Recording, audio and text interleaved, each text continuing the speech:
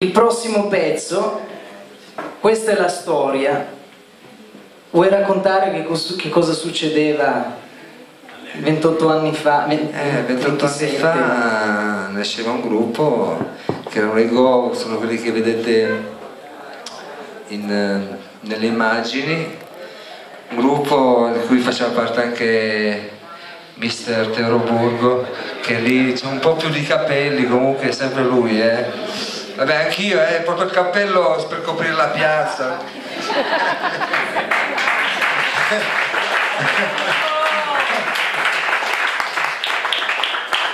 Allora, il pezzo che abbiamo fatto prima era dedicato alle chitarre. Noi allora avevamo fatto, registrato questo blues ed era, si, si chiama Marshall Blues e questa volta invece di essere dedicato alle chitarre è dedicato ai Marshall, ai Marshall quelli, con, con, gli affari neri che c'era dietro Teo. e io mi ci addormentavo sì, lui ci addor si addormentava sì, si addormentava.